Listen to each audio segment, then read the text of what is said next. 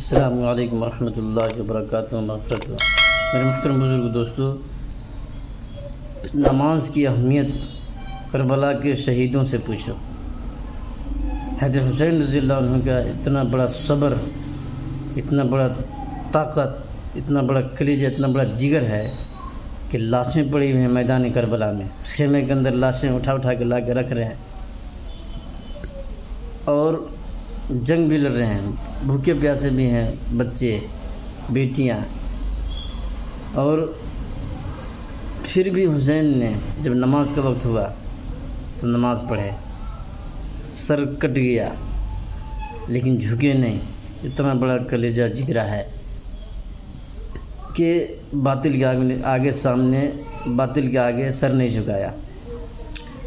इसी को शायर ने कहा है क्या चीज़ है नमाज़ बताया हुसैन ने? बातिल के आगे सर न झुकाया हुसैन ने। सजदे में सर को कटाया हुसैन ने। सजदे में सर को कटाया हुसैन ने। अब भी करबला से आती है ये सदा। हैया हैया तो कामयाबी नमाज़ में है। अल्लाह ने भी कुरान में कहा है। अल्लाह ने भी कुरान में कहा है। हुदल मुत्तकीन, ये किताब मुत्तकियों के लिए हिदायत है। अल्लादीन युमिनून बिल गैब। मुत्तकी कौन? जो गैब पर ईमान रखते हैं। अल्लाह पर, जन्नत पर। मैदान आखिरत पर मैदान महशर पर, क़्यामत के दिन पर, ज़िंदा होने पर, अल्लाह के पास जाने पर, इन सारी चीज़ों पर जो ईमान रखते हैं, वो मुत्तकी हैं। वो यकीमून सलाह काम क्या करते हैं? नमाज़ को कायम करते हैं। नमाज़ को कायम करते हैं। हुसैन ने नमाज़ कायम करके दिखाया। नमाज़ की अहमियत बताई कि इतनी बड़ी परेशानी हो, फिर भी नमाज़ नहीं छोड़ना। आज हुसैन का नाम लेने वाले डांस करते हैं, काला कपड़ा पहनते हैं, जुलूस निकालते हैं, ताज़िया निकालते हैं, नाचते हैं, ढोल बजाते हैं, नमाज़ नहीं पढ़ते हैं। काम सारा यजीदी वाला है। सारा के सारा काम यजीद वाला है। और नाम लगाते हैं हुसैन का। दुनिया को मतलब ये लोग यही बताना चाहते हैं कि हुसैन भी ऐसे ही करते थे। ये तो हुसैन के दुश्मन है ये। खाम खा के अपने आप हुसैनी कहते फिरते हैं। ये तो हुसैन के दुश्मन है। सर, हुसैन का काट के तलवार के नोक पर लेके घूम रहे थे इधर उधर। ये लोग ताज़िया उठा के घूमते हैं इधर उधर। वो लोग ढोल बाजा बजा रहे थे, ये भी ढोल बाजा बजा रहे हैं। वो लोग जुलूस निकाले थे, जीत गए हम, जीत गए हम कह के। ये भी जुलूस निकाल रहे हैं। यजीदियों ने कहा था कि हम जीत गए हम फ, हमारी फतह हो गई। तो हुसैनी में से एक बच्चा कहने लगा कि अरे मनहूस जीत तुम्हारी कैसे है? जीत तो हमारी है। चल अभी मस्जिद में नमाज़ के टाइम हो रहा है। और देखते हैं कि तुम्हारे नाना का नाम आता है अजान में या हमारे नाना का नाम आता है अजान में। जीत तो हमारी है। तो ये देखो उतना मुसीबत परेशानी आई हुई है फिर भी मस्जिद में ले जा रहे हैं। नमाज़ अजान की बात कर रहे हैं।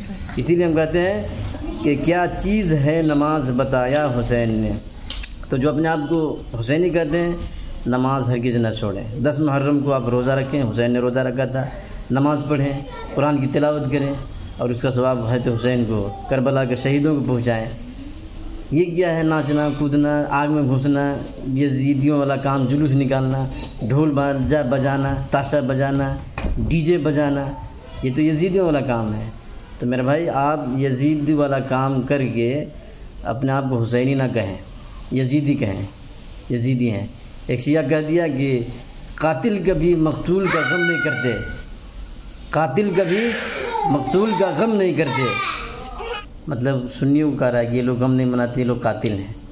मेरे भाई, आपके दिमाग ने गलत जुमला बनाया है। मैं कुरान शरीफ की आयत पढ़ के बता रहा हूँ वजाऊ अबाहुम यबकून इसमें है कि वो भाई लोग, यूसुफ अलैहिस्सलाम के भाई लोग रात को रोते हुए, गम मनाते हुए, वाविला मचाते हुए अपने अब्बा के पास आए। क्यों भाई? आपने तो कहा था कि कातिल कभी मकतूल का गम नहीं करते। ये क्या है ये? ये जो दस आए हैं रात में रोते हुए, क्या है ये? ये तो गम मना रहे हैं, जैसे आप मना रहे हैं। तो हुसैन को ख़त लिख के बुलाने वाले शिया, कुफा के गद्दार लोग, बुलाने वाले शिया, कत्ल करने वाले शिया, धोखा देने वाले शिया, मातम करने वाले शिया, जुलूस निकालने वाले शिया, ये सारा कातिल अपने मकतूल का गम मना रहा है। वहाँ यूसुफ इस्लाम का भाई इसलिए रोते हुए आए थे कि अब्बा जान को हमारे ऊपर शक ना हो कि हम लोगों ने कत्ल किया, हम लोगों ने डाल दिया, हम लोगों ने बर्बाद कर दिया। ऐसे ही ये यजीदी रोते हैं कि दुनिया वालों को ये ना समझ में आ जाए कि कत्ल हम ही ने किया है। तो कातिल भी मकतूल का गम मनाते हैं। ये मुनाफ़त है। इसको मुनाफ़त कहा जाता है। तो ये मुनाफिक लोग इसीलिए तो काम सारा यजीद वाला कर रहे हैं। ढोल बजाना, नाचना, कूदना, पीना, पिलाना मारना, कूटना, बाजा बजाना, डीजे बाजा लगा रहे हैं, डीजे बाजा। औरतों को लेके जा रहे हैं। बेपर्दा, सारे काम शरीयत के ख़िलाफ़। हुसैन के जाने का मकसद क्या था? शरीयत को मुकम्मल तरीके से नाफिज करना। फासिक, फाजिर आदमी, बादशाह ना बने। और ये जो काम कर रहे हैं लोग मुहर्रम में, नाचना, कूदना बाजा बजाना ये तो सारा सर शरीयत के ख़िलाफ़ है।